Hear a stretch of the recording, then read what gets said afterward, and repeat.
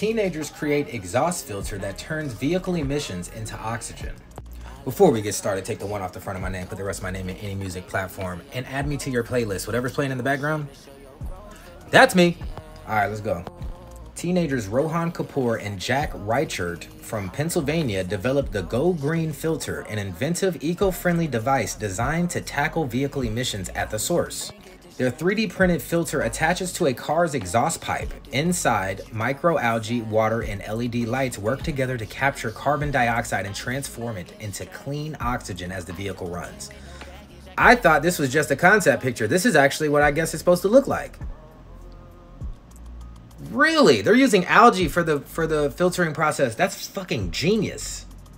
Testing shows the Go Green filter cuts vehicle carbon emissions by more than 74%. It's already been deployed in Indonesia, and it's recognized for its potential to reduce global emissions by billions of tons each year. Damn, they might come up and end up selling the, you know what I'm saying, being like the actual supplier for this shit to where cars, when they're manufactured, they have to have this part.